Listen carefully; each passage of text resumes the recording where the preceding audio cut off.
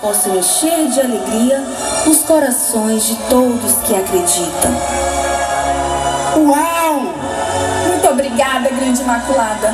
Vamos, Pimpim, vamos deixar eles descansarem. Daqui a pouco os pastores e os reis magos estão chegando.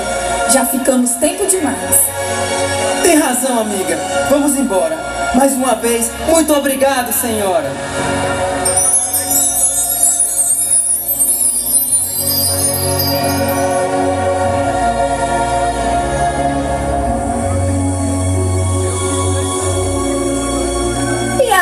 Pimpim?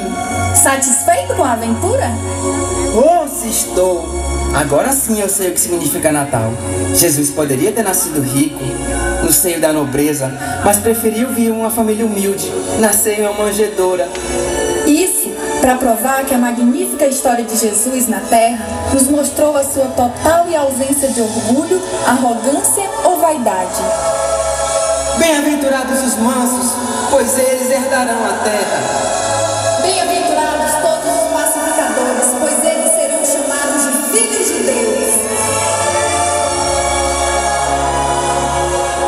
E enquanto isso, sem saber se somos filhos ou criaturas, A gente vai levando a vida do nosso jeito, da forma mais feliz.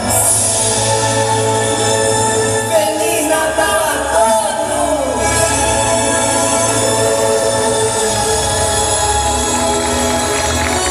mas e, e Azarela? Quem é esse tal de Papai Noel?